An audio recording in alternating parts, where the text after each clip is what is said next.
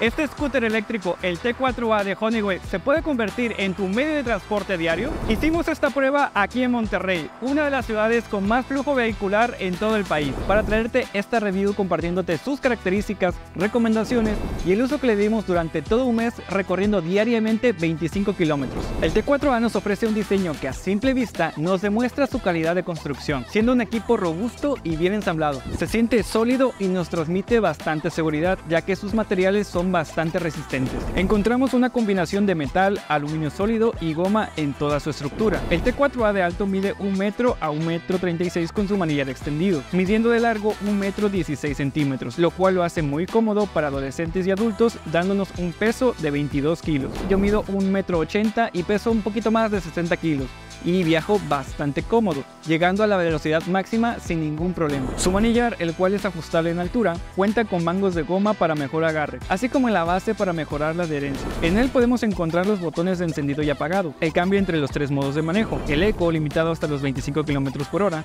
el estándar limitado hasta los 35 km por hora y el modo turbo que nos ofrece su velocidad máxima de hasta 45 km por hora. Encontramos el botón del sistema de medición entre millas y kilómetros, el botón de encendido y apagado de luces, donde encontramos una potente luz principal LED en su parte inferior, la cual nos ayudará mucho en condiciones nocturnas, y una luz azul en su parte posterior muy llamativa, que ayudará a que los conductores y personas nos vean con mayor facilidad. También encontramos el botón de claxon, el cual es bastante potente, siendo un factor diferencial comparándolo con otros modelos que nos ofrecen un timbre o directamente no nos ofrecen esta opción. Y así suena el claxon. Contamos con los botones de las direccionales, mismas que cuentan con una animación bastante llamativa. En la parte central del manillar encontramos su pantalla LCD de 4 pulgadas, donde podremos visualizar la velocidad actual, el modo en el que nos encontramos, su velocidad máxima, el nivel de batería, la distancia que llevamos recorriendo, la cual se reinicia cada vez que apagamos el equipo, y por último, la temperatura de la batería, importante para monitorear su salud. Adicionalmente, al activar las direccionales y la luz, se nos encenderá su respectivo icono en pantalla, así como también cuando activemos el control crucero y tengamos el scooter enlazado mediante la app Mini Robot. Del lado izquierdo tenemos el accionador de freno trasero, el cual es el que más usaremos para detenernos progresivamente, y del lado derecho encontramos el accionador del freno delantero, el cual es el auxiliar y debemos usarlo después del trasero para evitar frenar bruscamente, los cuales son bastante buenos y confiables por contar con freno de discos en ambas llantas. Por último encontramos el gatillo de aceleración como en las cuatrimotos, el cual hará que el scooter avance al accionarlo, aunque esta opción la podemos cambiar en la aplicación para que avance al accionar el gatillo y darle un impulso.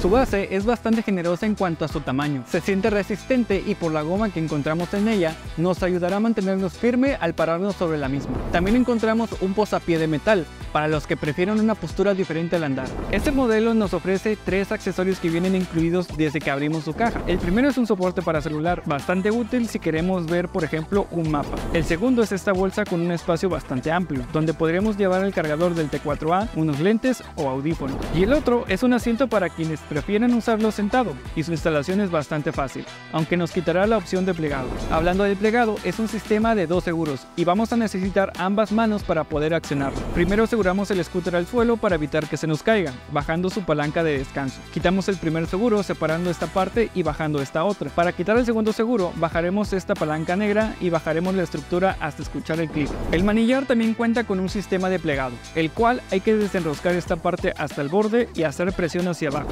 T4A cuenta con llantas de vacío de 10 pulgadas, lo cual es todo un acierto para evitar ponchaduras. Nos dan un buen rendimiento en distintas condiciones del camino por su buena adherencia y resistencia. Adicionalmente a esto, contamos con un sistema de amortiguación adelante y atrás para la absorción de golpes y freno de discos en ambas ruedas, lo que nos dará un frenado muy seguro. Lo que mueve este T4A es un motor de 750 watts, tracción trasera, que nos da una velocidad de hasta 45 kilómetros en su modo turbo, lo cual es más que suficiente para la mayoría de los escenarios, logrando subir pendientes de hasta 15 grados de inclinación.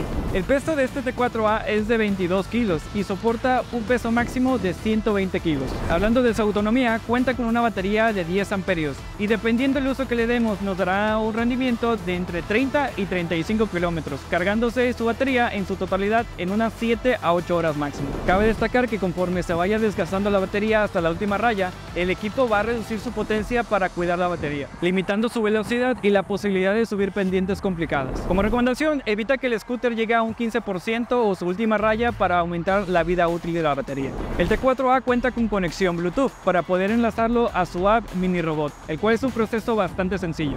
Solo encendemos el scooter y abrimos la app en nuestro celular. Automáticamente se conectará y podremos controlar y acceder a las configuraciones, como los kilómetros que nos quedan, el kilometraje recorrido en la sesión actual, el kilometraje hasta la fecha, la temperatura del equipo, las horas totales que nos han dado la fecha, la velocidad actual, la capacidad de la batería, entre otros. Encontramos el botón de configuración, donde podremos cambiar la unidad métrica, ya sea en kilómetros o millas, la capacidad actual de la batería, activar o desactivar el control crucero, así como determinar el umbral para su activación.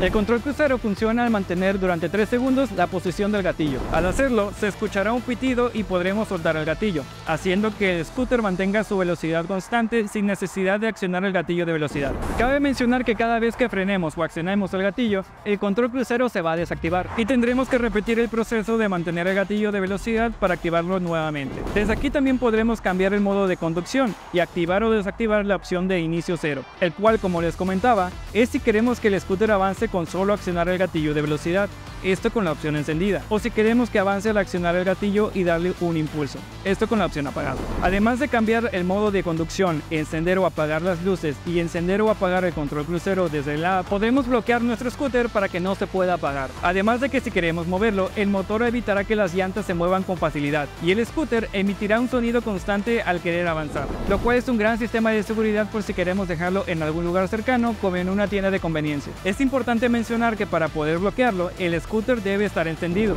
No funciona con el equipo apagado ya que debe estar previamente enlazado. Ya te compartí un poco de las características y funciones y es turno de compartirte también el uso que le dimos durante estos días. De primeras es importante mencionar que lo usamos como medio de transporte personal principal y para que se den una idea por lo menos recorrimos diariamente 25 kilómetros. Para que tengan una referencia los que son de Monterrey hicimos un recorrido desde el deck de Monterrey hasta la colonia San Jerónimo, el cual es un recorrido entre 12 y 13 kilómetros de ida, llegando al destino con una o dos rayas menos de batería, según el modo de manejo que haya utilizado, y haciendo un tiempo aproximado de 40 minutos. Durante el trayecto diario nos encontramos con distintos tipos de caminos, empezando con la mejor zona que es por el TEC de Monterrey, donde toda la circulación está adaptada para el ciclista, donde podremos circular con bastante facilidad y tranquilidad ya que es un medio de transporte habitual por los estudiantes. En este uso diario también lo hemos utilizado en condiciones con bastante tráfico, como en la zona de Garzazada, Gonzalitos y Constitución en horario matutino donde entran y también en horario vespertino cuando salen, tanto de escuela como de trabajo. Los que son de Monterrey ya conocerán cómo se pone el tráfico por ahí.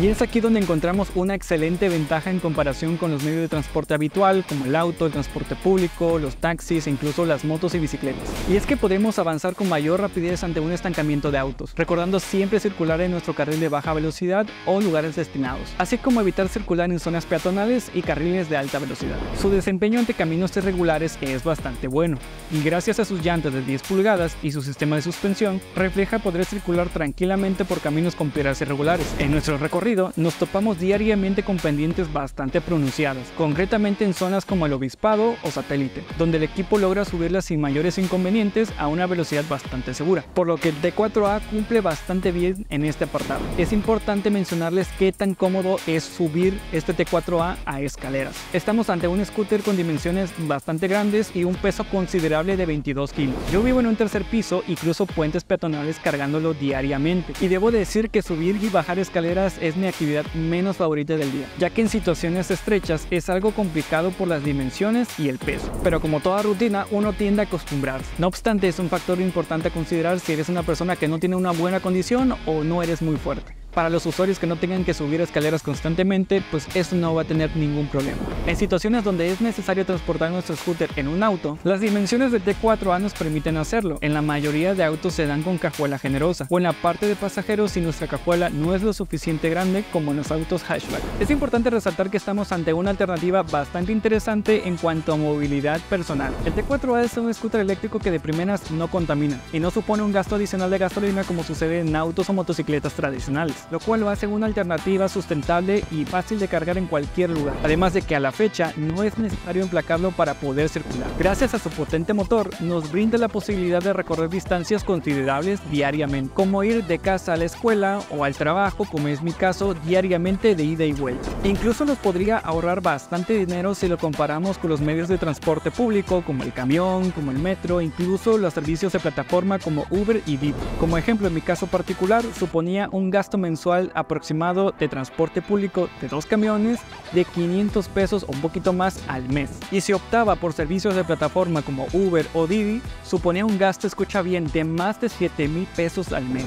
Sustituyendo estos medios de transporte por el scooter eléctrico, el gasto se va a cero. Con un precio que va entre los 10 y 15 mil pesos mexicanos en tiendas oficiales, el T4A de Honeywell es una gran alternativa de movilidad personal, ya sea para uso diario principal, secundario o complementario, destacando ser el principal proveedor de scooters eléctricos en todo el país. Y aquí en Monterrey cuenta con dos sucursales, la primera en Plaza Fiesta San Agustín en San Pedro Garza García y la segunda en Interplaza en el mero centro de Monterrey, lo que nos da una confianza al tener lugares establecidos para poder ir al mantenimiento o incluso a comprar algunos accesorios. ¿Qué te pareció el T4A de Honeywell? Comenta qué uso le das si lo tienes o qué uso le darías. Y dinos qué otro equipo te gustaría que probaran. Síguenos en nuestras redes sociales para no perderte de nada y estar atento de novedades. Por mi parte ha sido todo, nos vemos a la próxima.